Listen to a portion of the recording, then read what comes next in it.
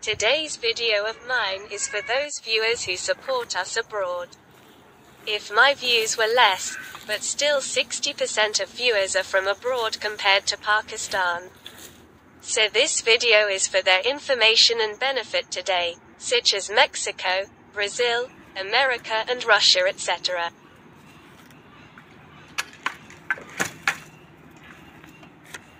Eat rabbit.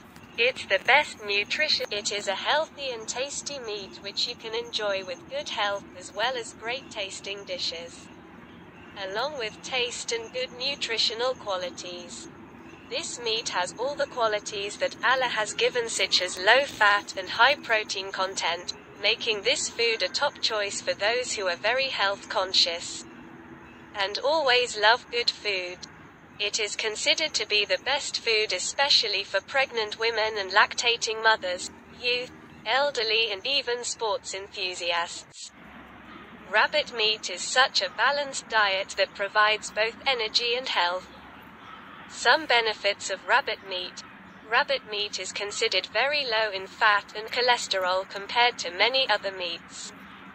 A quality protein rich meat that is relatively low in calories and sodium an excellent source of vitamins, minerals and other micronutrients, vitamins B3 and B12, phosphorus. Potassium and selenium are found in this meat. It sufficiently fulfills the requirement of vitamins and minerals, as per the daily nutritional requirements of the body. A meat in which Allah has placed the best balance of fatty acids. Rabbit meat contains more omega-3 than chicken meat. It is very low in fat and delicious.